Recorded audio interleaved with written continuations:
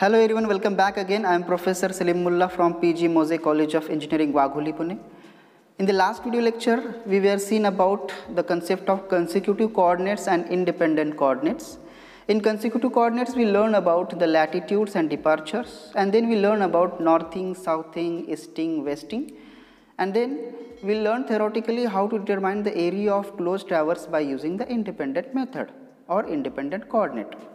Now in this video lecture we will learn about how to determine the area of closed traverse by using the independent coordinate method. The example is asked in the Pune University May 2018 for 6 marks. So first of all read the example carefully what they given and how to solve this. Okay, so first of all the example is given like this find the area of closed traverse with the help of following data. The data is given side that is the length of sides are given A, B, B, C, C, D, D, A. Now here the traverse is start with A and end with A that is the traverse is closed traverse. Okay, now the latitude and departure is given in the next columns. Latitude for AB plus departure plus BC minus plus CD minus minus and DA plus minus. Okay, so how to determine the area of the closed traverse we will see. So first of all whatever the data is given in the problem you need to tabulate in in a particular. Okay so here you can see first of all learn what is exactly given. Okay first you have to make the station column then we have to make the line column latitude departure whatever the data is given we need to tabulate here like this. Okay? So first of all next is station column number station column number 5 station a b c d e. Now here as per the given data first of all we need to draw a particular diagram okay for better understanding. You it is not necessary to draw the diagram in the exam okay? So first for better understanding refer this figure okay? So that you can get all the information about these independent coordinates.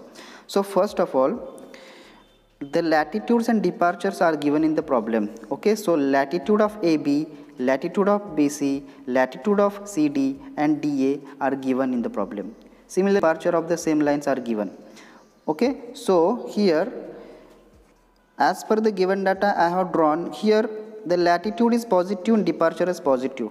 Okay by using this sign convention okay the line AB is line in which quadrant first quadrant because north and this is departure is east okay so north and east north and east quadrant क्या आएगा north and east quadrant में A B line आएगी similarly latitude is negative that is negative when it is negative southing positive departure when it is positive easting okay southeast okay the line bc is in which quadrant southeast bc line किस quadrant में आएगी south east south और east quadrant में आएगी so I have drawn this line in second quadrant now line cd the latitude is negative that is southing and departure is also negative that is the westing so the line cd lies in third quadrant okay cd third quadrant that is southwest okay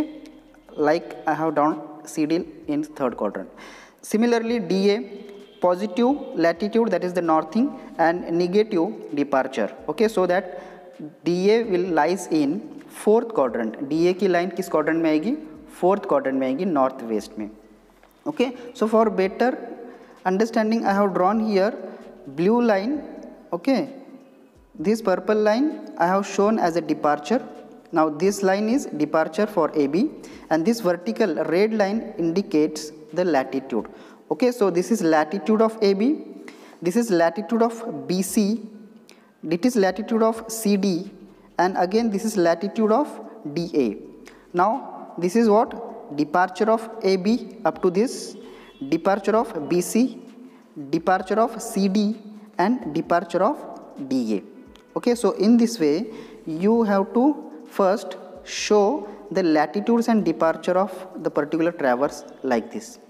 Now for independent coordinates as we know what is independent coordinate? Independent coordinates is the coordinates of a particular points of traverse which is directly reference with the origin. Okay now this is the origin and this is directly we referred taking the reference of that particular point. अब यहाँ पे अच्छे से understanding करना है आपको।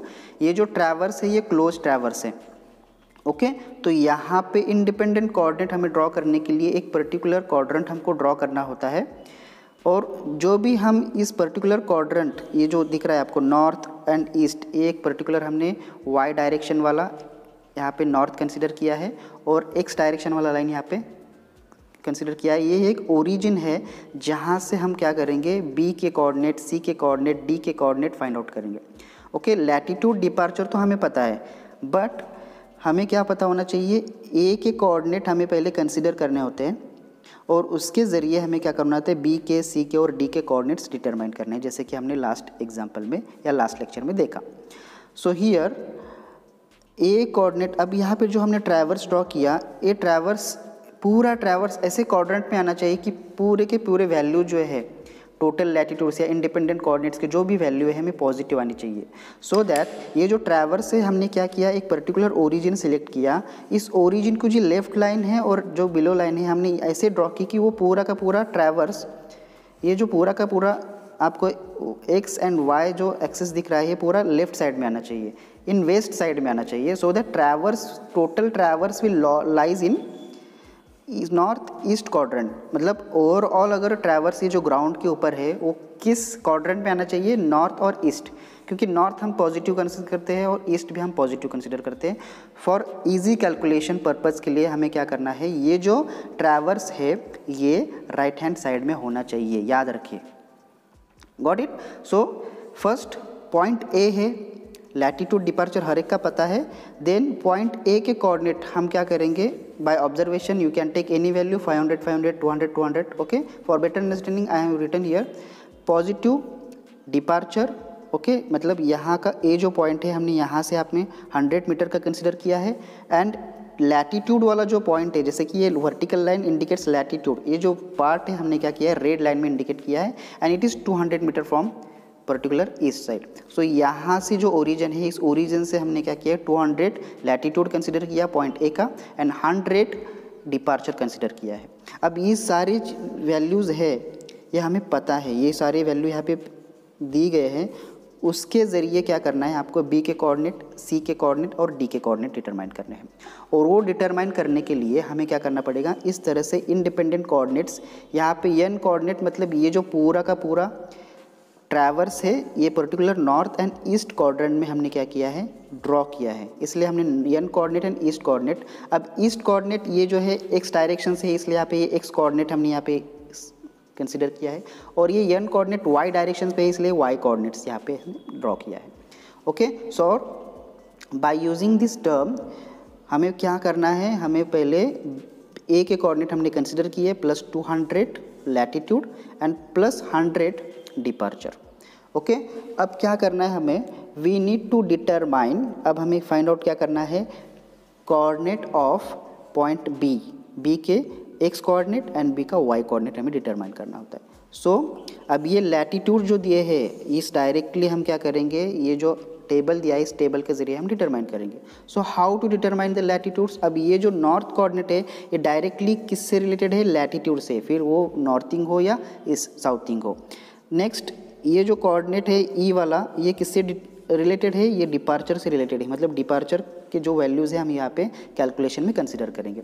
So first of all you have to calculate the value of north ये जो नॉर्थ के वैल्यूज़ है, जो भी कोऑर्डिनेट्स है, हम क्या करेंगे? फाइंड आउट करेंगे या वाइट कोऑर्डिनेट्स के वैल्यू फाइंड आउट करेंगे। So by using this north coordinate अब यहाँ से ऑब्ज़र्व करो 200 अब बी का कोऑर्डिनेट क्या करना पड़ेगा? हमें ऐड करना पड़ेगा। अब यहाँ पे लैटिट्यूड पॉजिटिव है। Okay so I will add this 200 plus 225.5 okay इसको ऐड करेंगे तो हमारी वैल्यू आएगी 425 अब ये वैल्यू पॉजिटिव आती है। प्लस प्लस 425.425.5 इतनी आएगी। Okay okay? अब यहाँ तक का हमने क्या किया? ये हंड्रेड ये जो पार्ट है इतना पूरा का पूरा फोर ट्वेंटी फाइव अब यहाँ पे सी कोऑर्डिनेट है तो इसको ये करने के लिए क्या करना पड़ेगा? सी का वाई कोऑर्डिनेट जो है यहाँ से हमें क्या करना पड़ेगा? माइनस करना पड़ेगा। सो so, यहाँ पे ये लैटिट्यूड भी क्या है? माइनस है। अब ये साउथिंग है तो हम क्या करेंगे? इस वैल्यू में याद रखिए इसी वैल्यू में से इस वैल्यू को माइनस करेंगे। That is four twenty five point five minus two forty five जब हम इसको करते हैं तो यहाँ पे वैल्यू आती है one eighty point five okay so all the values are in metre okay अब यहाँ पे क्या है? Plus one eighty point five अब नेक्स्ट क्या है? डी पर लैटिट्यूड जो है डी डी का, उस फिर से हम क्या करना पड़ेगा? माइनस करना पड़ेगा। मैं आपको डायग्रामेटिकली भी दिखा रहा हूँ। माइनस करना पड़ेगा यहाँ पे तो ये one eighty point five minus one fifty point five आएगा। ओके और इसकी वैल्यू आएगी plus thirty metre got it अब लास्ट में क्या होगा? थर्टी प्लस वन सेवेंटी अब यहाँ पे क्या है? ये फिर से ऐड होने जा रहा है। तो प्लस वन ट्वेंटी मतलब यहाँ पे फिर से क्या होगा? टू हंड्रेड अब यहाँ पे हम चेक भी कर सकते हैं। Start with the two hundred and end with the two hundred अब ये दोनों वैल्यू अगर सेम आते हैं तो हमने जो भी कोऑर्डिनेट्स डिटरमाइन किए हैं it is correct whatever the coordinates we have determined it should be checked by using this terms, okay? So 200 and it should be at the end 200 okay? Now, the next is how to determine the x coordinates. अब ये coordinates departure related है okay so ये ये जो column है departure वाला, उसको consider करेंगे। प्लस हंड्रेड अब इसको ऐड करना है। यहाँ पे हंड्रेड है, इसको ऐड करना पड़ेगा बी की कोऑर्डिनेट फाइंड आउट करने के लिए। So hundred plus one twenty point five you will get two hundred and twenty point five metre okay then again अब ये सी का कोऑर्डिनेट हमें डिटरमाइन करना होता है यहाँ से यहाँ तक का। इसको फिर से ऐड करना पड़ेगा क्योंकि ये पॉजिटिव है। So plus two twenty point five plus two hundred and ten point five okay so it becomes अब ये कितना होगा? Plus four thirty point five होगा। Okay got it now next four thirty point five अब ये departure negative है। थोड़ा सा क्या करेंगे? सी का पॉइंट है। ठीक है तो अब क्या करेंगे हम यहाँ पे?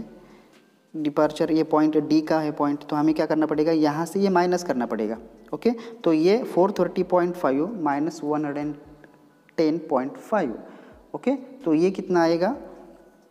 प्लस अब ये प्लस माइनस ठीक है? ये आएगा three twenty okay and last अब जो जो है, इसमें से हमने क्या किया? Plus three hundred and twenty minus two hundred and twenty किया तो हमें डायरेक्टली वैल्यू आएगी plus hundred okay so in this way first coordinate of a and last coordinate of a becomes same okay so whatever the coordinates we have determined it is correct अब ये जो भी coordinates hai हमें determine हो गए अब ये coordinates के ज़रिए हम क्या करना है हमें find out करना है area of closed traverse अब ये particular total कोऑर्डिनेट्स का एरिया हमें डिटरमाइन करना है। So how to determine it let us see अब ये जो एक्स कोऑर्डिनेट है और वाई कोऑर्डिनेट है, इन सारे एक्स एंड वाई कोऑर्डिनेट को हमें क्या करना है? एक डिटर्मिनेंट फॉर्म में लिखना है और by using the cross multiplication summation of A and summation of E B हमें डिटरमाइन करना है। So how to determine this let us see अब यहाँ पे देख रहे हैं आप। You can see here arrange the X and Y coordinates in determinant form अब एक्स कोऑर्डिनेट ये वाले एक्स कोऑर्डिनेट है। मैंने यहाँ पे क्या किया है? Hundred two twenty four thirty three twenty hundred ये डायरेक्टली क्या किया है? हमने लिख लिया है यहाँ पे। ओके नेक्स्ट कौन से हैं? वाई कोऑर्डिनेट से इसको डायरेक्टली हमने क्या किया है? Two hundred four twenty five one eighty okay thirty and plus two hundred मतलब ये सारे के सारे मतलब it is start with A and end with A so start two hundred से हो रहा है और एंड भी टू हंड्रेड से हो रहा है। स्टार्ट यहाँ पे हंड्रेड से हो रहा है, यहाँ पे भी हंड्रेड से हो रहा है। Okay, so written like this. And then you have to first multiply this 100 into, अब ये प्रोडक्ट क्या करना है आपको? Sum of product of the determinant X and Y values अब यहाँ पे क्रॉस मल्टीप्लिकेशन आपको करना है। 100 into four twenty point five plus two twenty point five into one eighty plus this multiplication plus this multiplication okay ये करना है summation of ए के लिए. एंड वाई कोऑर्डिनेट्स जो है यहाँ से, ये क्रॉस मल्टीप्लिकेशन यहाँ से स्टार्ट होगा 200 hundred into two twenty point five plus this way plus this values plus multiplication of this two values okay how to do it let us see like this जैसे कि summation of ए हमें करना है तो क्या किया है यहाँ पे? समेशन ऑफ़ ए के लिए हमने इसका मल्टीप्लिकेशन किया है एडिशन किया, जो भी वैल्यू आया मीटर स्क्वायर में आएगा। याद रखें, सारे वैल्यूज़ मीटर में है, इसलिए मीटर स्क्वायर में एरिया आएगा। Okay now summation of A एक पर्टिकुलर हमने कंसिडर किया है कि इतना आएगा। नेक्स्ट समेशन ऑफ़ बी जो है हमने कंसिडर किया कि इन दूसरों का जो प्रोडक्ट्स है उनका मल्टीप्लिकेशन और एडिशन ओके सो ये value into this value plus this value into this value plus this value into this value plus this value into this value इस तरह से ये कैलकुलेशन करके यहाँ पे ये इतना एरिया आया। तो summation of A one lakh fifty nine thousand two hundred and sixty five point twenty five metre square and summation of B two lakh eighty eight thousand thirty seven point seventy five metre square इतना आ गया। Then how to determine the area उसका एक formula है, इन दोनों का हमें क्या करना होता है? सब्सट्रैक्शन करना होता है एंड डिवाइडेड बाई टू करना होता है। So how to do it let us see to find the area of traverse A B C D okay you have to do one half into bracket summation of A minus summation of B so you it is equal to one half अब ये दोनों value क्या करना है? लिखना है minus करना है। ये जो वैल्यू आएगी निगेटिव में आएगी। याद रखिए निगेटिव भी आया तो यहाँ पे कुछ टेंशन लेने की ज़रूरत नहीं है। निगेटिव वैल्यू को इग्नोर करना है area should not be negative that's why the total area of the traverse will be 64,386 metre square okay? So in this way you can calculate the area of closed traverse by using the independent method. आपको last में इस तरह से लिखना है 64,386 metre square okay so I hope कि आपको ये सारी चीज़ें समझ में आई होगी। फिर से एक बार मैं आपको बताता हूँ जो भी लैटिट्यूड और डिपार्चर दिया जाता है ये इस तरह भी लिखा जाता है या नॉर्थिंग, साउथिंग के ज़रिए भी आप लिख सकते हैं। बस याद क्या रखना है कि आपको ये वाला पार्ट पहले स्टार्टिंग यहाँ से करना है, फिर से यहाँ से, फिर से यहाँ से, जो भी प्लस माइनस है आपको क्या करना है, सिर्फ़ ऐड और माइनस करना है। सिमिलरली डिपार्चर का वाला ई ईस्ट वाला कोऑर्डिनेट डिपार्चर के रिलेटेड होता है, उसको क्या करना है प्लस होगा तो ऐड माइनस होगा तो सब्सट्रैक्ट ठीक है, इस तरह से पूरे के वैल्यू आपको कैलकुलेट करना है। याद रखिए फ़र्स्ट जो पॉइंट ए का कोऑर्डिनेट है वही कोऑर्डिनेट लास्ट में भी होने चाहिए ओके तो आपने जो भी कैलकुलेट किया है कोऑर्डिनेट्स वो सही हो गए okay so in this way you can calculate the area of closed traverse and you can get the six marks in university paper okay I hope ये सारी चीज़ें आपको अंडरस्टूड हुई होगी, ठीक है? तो इस वीडियो को ज़्यादा से ज़्यादा शेयर करिए लाइक करिए और आप इस चैनल पे नए हैं तो इस चैनल को सब्सक्राइब करिए। फिर मिलेंगे नेक्स्ट वीडियो में नेक्स्ट टॉपिक के साथ। तब तक अपना ख्याल रखें। धन्यवाद।